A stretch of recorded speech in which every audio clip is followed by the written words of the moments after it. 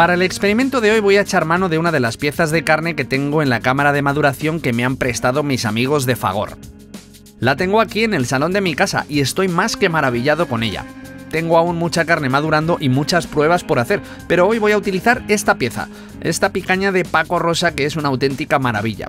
Lleva aquí cerca de 50 días y creo que es el momento de ver lo que ha sucedido en todo este tiempo.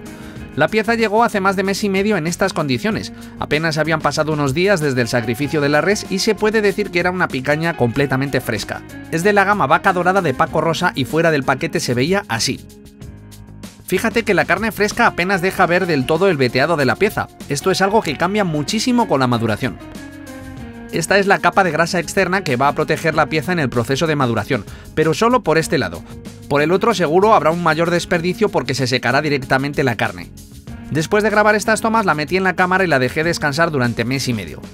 Este es el aspecto de la grasa actualmente, aunque en cámara no se puede apreciar como en persona, pero está como más apretada, más seca. En esta parte es donde más se puede apreciar lo que ha sucedido. Ha perdido muchísima agua y ha quedado más compacta. La grasa ha mermado de tamaño bastante y parece una pieza de carne completamente diferente a la que llegó. El momento más especial sin duda es el momento de cortarla. Aquí es donde se ve el trabajo que hemos hecho en la cámara de maduración. Y efectivamente, fíjate qué pinta tiene esto. Mira cómo ciertamente la pieza ha cambiado. Ya no tiene el agua que tenía el primer día y está como más untuosa. Y aparte se nota muchísimo mejor el marmoleado, la grasa infiltrada que tiene la pieza. Este es el taco que voy a utilizar para el cachopo. Voy a tratar de conseguir un par de filetitos rectangulares y madre mía, esto sí que es un auténtico espectáculo. En lugar de vaca parece guayú. Fíjate qué maravilla. ¿Y quién iba a pensar que esto tendría esta pinta después de verlo completamente seco por el exterior? Asombroso el color que tiene, el veteado y el aroma que hay ahora mismo en el estudio. Huele a carne madurada. Es un olor muy especial para los adictos a la carne. Ahora voy a probar esta maza que nunca he utilizado anteriormente y es que con esto dicen que el filete se estira un poco y se rompen algunas fibras.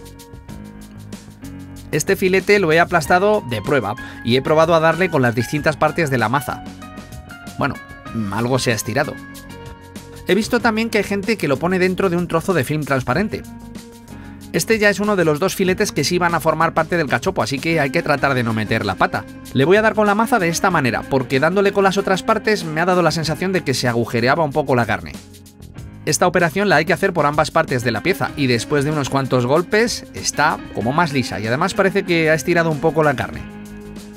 Mira qué cecina más espectacular, ¿eh? Cecina de león, ahumada, con una buena infiltración y casualmente casi del mismo tamaño que el filete. De esto voy a empezar poniéndole un par de lonchas. Y ahora este queso, que es queso ahumado. No hace falta que os confiese mi adicción a las cosas ahumadas. Bueno, un par de lonchas y seguimos. Y seguimos con este descubrimiento, queso con jamón serrano. Sí, sí, yo también aluciné cuando lo vi en el supermercado. No sé a quién se le habrá ocurrido este locurón de queso, pero creo que es perfecto para el cachopo. De este le voy a poner tres buenas lonchas. Y ahora voy a ir completando la operación a la inversa, es decir, una loncha más de queso ahumado, un par de lonchas de cecina y, para cerrar el círculo, otro filete de picaña. Se le da un poco de forma y se le pone sal. Sal por ambas caras, pero vaya, cuando le he dado la vuelta para ponerle la sal, me he dado cuenta de que esta parte no estaba perfectamente limpia. Un cortecito y se añade el resto de la sal. Voy a utilizar esta barra de pan para hacer el rebozado. Es pan fresco, pan de hoy, pan del día. Con un buen cuchillo de sierra se corta el pan como si fuera mantequilla, no cabe duda. Unas cuantas rodajas serán más que suficientes, algo así como media barra, y las voy a trocear un poco más todavía. Esto lo voy a rayar con el robot de cocina a máxima potencia. Se añade una cucharadita de cebolla liofilizada y una cucharadita de ajo en polvo para darle un poco más de sabor al rebozado y después de ponerlo un minuto a toda máquina, este es el resultado. Este pan rallado fresco no tiene nada, pero nada que ver con el resto. Haced la prueba y veréis la diferencia. Y ahora me toca batir unos huevos y se me ha ocurrido grabar esto a cámara lenta. Es un movimiento muy relajante, envolvente, tranquilo. es algo curioso, al menos para un adicto a la cocina como yo. También he grabado a cámara lenta esta parte. Es lo que hace el aburrimiento, oiga. Ya está todo preparado para rebozar el cachopín. Primero se reboza bien con harina, mucha harina, por todas las caras y escurriendo el sobrante. Ahora se pasa por el huevo batido y muy importante remojarlo bien por todas las partes. Por último, lo pasamos por el pan rallado especial. Tiene que quedar completamente embadurnado para que tengamos una bonita y deliciosa corteza exterior, crujiente y sabrosa. Voy a ir calentando el aceite en la sartén más grande que tengo. Y aquí se pone aceite del bueno, ¿eh? Aceite de oliva virgen extra a tutiplén. Queremos que sea un cachopo de categoría. Aquí va el tema palillos. Eh, es un tema polémico donde los haya. Los puristas dicen que ponerle palillos es un disparate supremo, pero yo no quiero arriesgarme y ver cómo se va saliendo el relleno de mi hermoso cachopo al freírlo, así que los pondré igualmente. Si te estabas preguntando qué había hecho con la grasa de la picaña, pues aquí está. La voy a utilizar para aromatizar el aceite. La tengo a fuego medio para que vaya soltando su grasa poco a poco, lentamente. Y este aceite va a tener sabor a maduración, no es ninguna broma.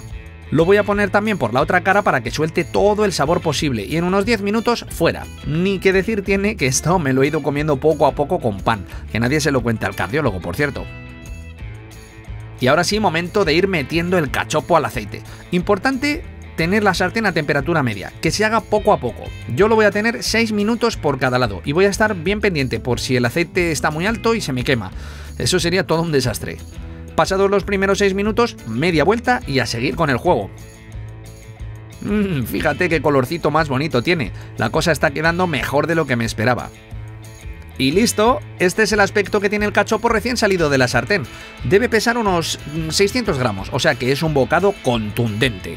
Me encanta el color que le ha quedado. No se ha salido nada del relleno gracias a los palillos que han sujetado el conjunto a la perfección. Y ahora, mientras veo estos planos, me doy cuenta de que queda lo mejor. Partirlo a ver qué tal ha quedado. En fin, este es el resultado. La carne ha quedado poco hecha, que es lo que yo buscaba, aunque el queso no se ha fundido tanto como me hubiera gustado. Quizás un par de minutos más hubieran sido suficientes para lograr fundirlo del todo, pero ya sabes, el movimiento se demuestra andando y el sabor comiendo. A probar. Pues sí, el sabor se demuestra comiendo, probando esto que, oye, mm, creo que es una gran idea, modestia aparte y siendo humilde. Buen producto, esto tiene gran pinta, ha quedado poco hecho por dentro, tal y como yo hubiera hecho mi filetito de picaña o un chuletón o cualquier otra cosa que se me hubiera ocurrido para este invento, para esta creación. Pena que por ese motivo el queso no ha fundido totalmente y no está tan chorreante como podíamos esperar, pero vaya, ¡wow! ¡Qué crujiente! En fin, vamos a ver si se nota la maduración. Vaya tocho, vaya penco. Y ahora sí ha llegado el momento de probar el cachopazo. Mmm. ¡Jo! Pues hay muchas observaciones que debo de hacer, pero empiezo diciendo que la cosa me mola, pero mucho, ¿eh? Pero mucho. El sabor ahumado de la cecina, el sabor ahumado del queso. Están ahí, muy presentes, ver mucho, ¿eh?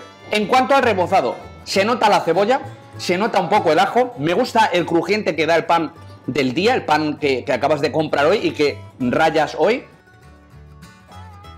otra cosa que se nota bastante además es que está frito en aceite de oliva virgen, virgen extra. Y digo virgen, virgen porque bueno, para un homenaje como este no se utilizan aceites que ya hemos usado para otras cosas. Que creo que es obvio, ¿no? Pero bueno, siempre uno tiene un aceite por ahí que ha utilizado para freír algún otro producto y en este caso era pues recién sacado de la botellita y claro, esto sabe a gloria. Pero claro, queda hablar de la protagonista, la carne, la picaña, madurada. ¿Se nota la maduración? Sí. ¿Está tierna? Sí. ¿Está sabrosa? Sí, mucho. Tiene una potencia de sabor muy alta. Ya de por sí, la picaña es una carne muy, muy, muy roja y una carne con un sabor muy predominante, muy fuerte, pero que aún así, insisto, y no lo digo por tirarme flores, no tapa el resto de los sabores. Creo que el hecho de haber frito el cachopo en ese aceite que estaba, entre comillas, aromatizado con la grasa de la picaña, ha terminado de dar ese toque picañil a este cachopo tan travieso y divertido que se me ha ocurrido. ¿Y qué queda llegado a este punto? Pues darte las gracias por llegar hasta aquí, decirte que si te ha gustado estaría muy bien que le dieras un buen super like y que mm, dejaras un comentario con lo que más te ha gustado del vídeo. Espero que nos veamos de nuevo pronto por aquí. Si no quieres perderte ninguno de mis vídeos, recuerda suscribirte y activar la campana de las notificaciones. Es completamente gratis, no como en otras plataformas. Y nos vemos en la próxima receta. ¡Adiós!